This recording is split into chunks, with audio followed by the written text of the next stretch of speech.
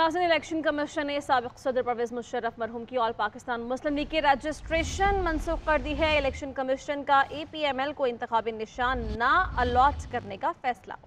فیصلے میں کہا گیا ہے کہ پارٹی کا کوئی عہدیدار نہیں، پارٹی عملی طور پر وجود ہی نہیں رکھتی ہے۔ اسی حوالے سے اپڈیٹس حاصل کریں گے۔ عاطف بٹ ہمارے ساتھ موجود ہیں۔ جی عاطف بٹ الیکشن کمیشن نے آل پاکستان مسلم لیگ کی جو رجسٹریشن ہے، اس کو منسوخ کر دیا ہے۔ الیکشن کمیشن نے اے پی ایم ایل کو انتخابی نشان جو ہے، وہ بھی الاٹ نہ کرنے کا فیصلہ کیا ہے۔